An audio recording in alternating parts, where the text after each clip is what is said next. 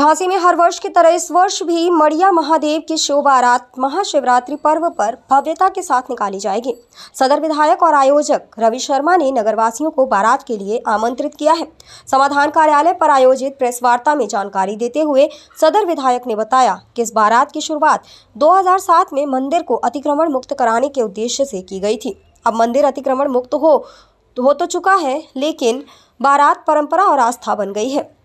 विधायक ने कहा कि बारात अब झांसी की बारात का रूप ले चुकी है। उन्होंने बताया कि बारात की शुरुआत प्रातः 10 बजे मुरली मनोहर मंदिर से प्रारंभ होगी, जो मालिन तिराहा मानिक चौक, रानी महल, मिनरवा, सैयर गेट होती हुई मड़िया महादेव मंदिर पहुंचेगी। मड़िया महादेव की शिव बारात का सोलहवा साल है। झांसी, जिसे हम काशी भी कह सकते हैं।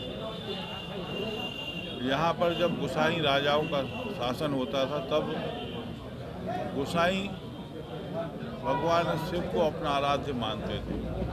उन्होंने झांसी में बहुत भव्य शिवालयों की स्थापना की थी। उसमें से एक मड़िया महादेव का शिवालय भी है। उस शिवालय में पूर्व में कुछ लोगों ने कब्जे कर रखे थे।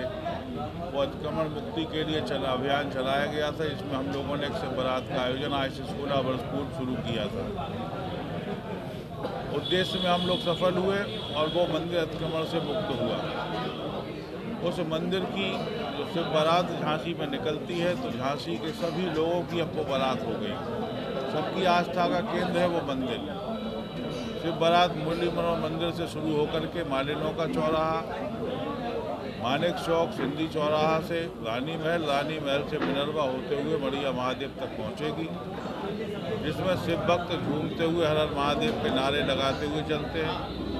कई सारे डीजे होंगे, कई सारे बैंड होंगे, और जगह जगह बारात का नासी में लोग स्वागत करते हैं। वो शिव बारात निश्चित रूप से शिवरात्रि के अवसर पर एक झांसी की भव्य बारात के रूप में निकलती है। उसी को लेकर के आज आपसे बात वार्ता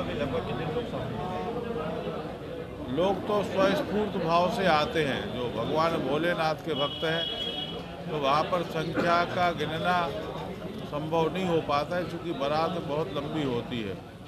तो उसमें भारी संख्या में लोग, हज़ारों की संख्या में शिव भक्त श्रद्धालु, पिछले साल अठारह बीस हज़ार लोग उस बारात में शामिल हुए थे। निश्चित रूप से वो लोगों की श्रद्धा और आस्था केंद्र है, वहाँ पर लोगों के मनोरथ भी पूरे हुए हैं। तो वो बारात अपने आप दिन पर दिन बढ़ती चली जा रही है।